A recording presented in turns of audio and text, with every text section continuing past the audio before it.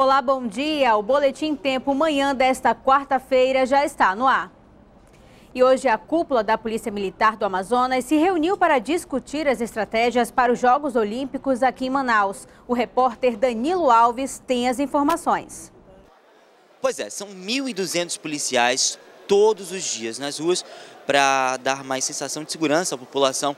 Eles vão trabalhar nesse período olímpico em vários setores. Quem vai conversar com a gente sobre essa situação é o Coronel Frank Leeds, o comandante de é, patrulhamento metropolitano. Então, bom dia, comandante. Como é que vai funcionar? São várias áreas de atuação que esses policiais militares vão trabalhar nesse período olímpico, né? É, bom dia. Esses 1.200 policiais militares vão trabalhar nos três dias. Né? 1.200 no dia 4, 1.200 no dia 7 e 1.200 no dia 9, que são dias de jogos em Manaus. Além do policiamento, vamos estar ocupando também um perímetro de segurança. Né? A preocupação é desde a saída do torcedor de sua residência, terminais de ônibus, parada de ônibus, área de concentração, os hotéis, centro da cidade e a saída pela M010, pela ponte do Rio Negro, também vamos estar na fiscalização, realizando um verdadeiro uma bolha de segurança em todas as áreas de interesse da segurança pública. Obrigado, Coronel. Como vocês estão vendo ali, é como se fosse um exemplo de como vai funcionar. Ali, como vocês estão vendo, o círculo maior é o raio de um quilômetro, é o perímetro onde esses policiais militares vão trabalhar. Existem quatro pontos, né, onde as pessoas vão poder circular e os policiais vão estar lá dando orientação, além, claro, dos pontos na Arena da Amazônia e ali próximo, ali no entorno da arena. Então, como esses policiais vão trabalhar e como o coronel falou que esses 1.200 nos três dias e não vai ter nenhum problema com as companhias interativas que realizam esses patrulhamentos nas outras áreas da cidade, que também é importante. Então, todo esse trabalho vai ser em conjunto. Danilo Alves para o Boletim Tempo. Obrigada, Danilo. E na noite dessa terça-feira, uma manifestação de familiares de um jovem assassinado durante um assalto parou o trânsito nas principais avenidas da zona centro-sul. Revoltados, eles pedem justiça. Carlos Eduardo, de 19 anos, morreu no último domingo em uma tentativa de assalto. Ele estava na companhia do irmão que conseguiu escapar. Os dois estavam indo para o supermercado quando foram abordados por um bandido em uma moto. Foi por volta das sete e meia da noite na rua 2 do Adrianópolis, zona centro-sul aqui da capital. Foi três disparos na minha direção, nenhum pegou. E o meu irmão, vendo aquela, aquele desespero, né? Ele, ele deve ter corrido para cima do assaltante, só viu o cara caído no chão e, a, e atirando várias vezes, mas ele fez aquilo para me defender, porque se ele não tivesse feito isso, eu não estaria aqui também. Carlos levou três tiros e morreu na hora. A vítima era estudante de educação física, mas, segundo a família, tinha trancado a faculdade e estava juntando dinheiro para voltar aos estudos. Agora, eles querem justiça. Meu irmão morreu de uma forma trágica, né? Tirar a vida dele, cara, um trabalhador, honesto, todo mundo conhecia ele, os amigos dele ficaram desesperados quando souberam a notícia. Mas quero notícia, quero botar esse cara na cadeia, mano. Era um menino muito bom, não tenho que reclamar dele não. Só tenho que agradecer ele, porque ele é meu filho amava demais ele e amo ainda. Eu e, e meu marido e os irmãos também. Por causa do crime, familiares e amigos fizeram uma manifestação por volta das 5 horas da tarde desta terça-feira. Pneus e madeiras foram queimados. Eles fecharam a Avenida Paraíba para pedir mais segurança. O trânsito ficou parado nas principais avenidas da cidade, como Boulevard, Maceió e a própria Paraíba. Dificuldade, né, de a gente se locomover, né, depois de um, de um dia cansativo que a gente tem de trabalho. Aí fica difícil, né? Há um dia para o início dos Jogos do Torneio Olímpico aqui em Manaus, os motoristas reclamam que esta situação se repete todos os dias. Nesse horário é todo dia. Cidade de Manaus, assim, as principais vias, Boulevard, Jalma Batista, Constantino Neri, todas são assim, diariamente, não muda, não muda.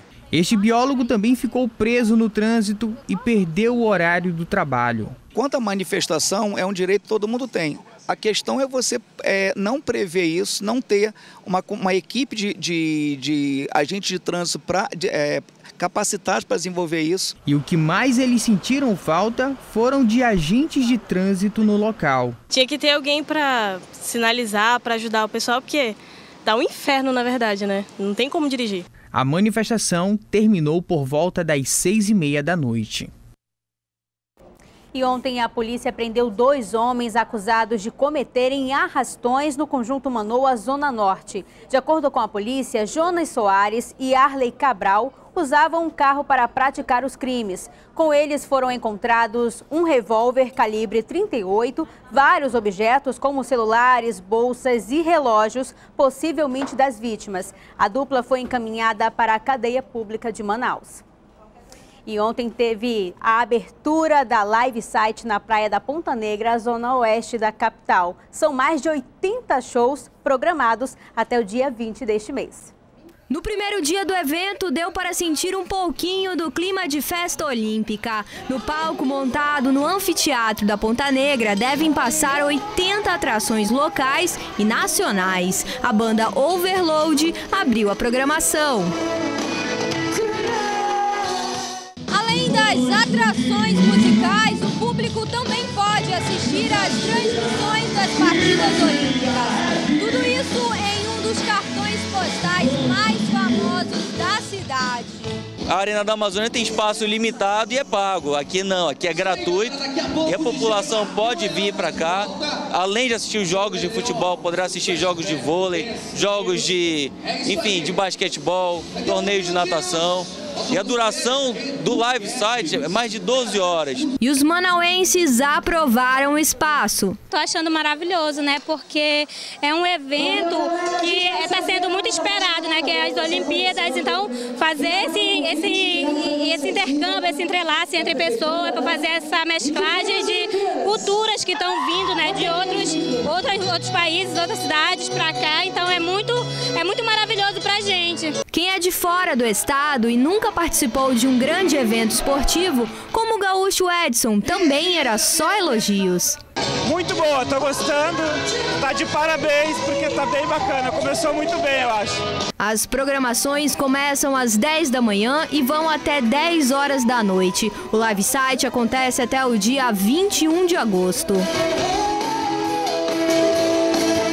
A gente continua falando de Olimpíada. Depois de tantos adiamentos, o Comitê Olímpico Local informou que a seleção da Nigéria deve chegar na véspera da estreia dos Jogos Olímpicos aqui na capital. Segundo a Federação Nigeriana de Futebol, a equipe ainda está em Atlanta devido à falta de pagamento das passagens dos jogadores.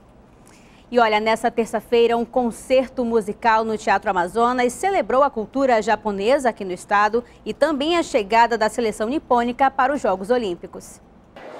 O público manauense conferiu de perto uma noite de instrumento musical japonês. No Teatro Amazonas, o evento celebrou o jogo do Japão contra a Nigéria, que acontece na quinta-feira.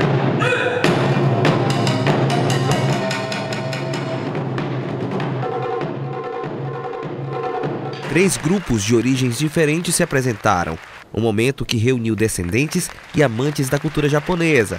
Quem foi assistir o espetáculo gostou. É bem diferente e assim, a gente se sente um pouco no país mesmo, não é no Japão, porque a gente vê os filmes e em muitos momentos tem as músicas, os instrumentos e de repente nesse espetáculo a gente pôde se sentir um pouco lá também.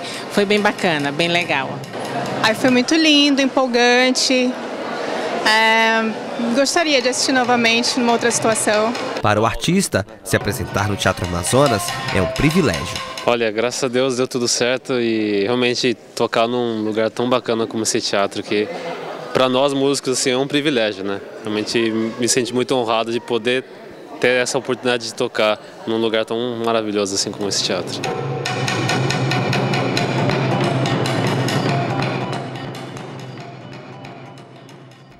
Legal, né? O Boletim Tempo Manhã termina aqui. Outras informações você acompanha daqui a pouco na segunda edição do Boletim, às 10h50. Eu espero você.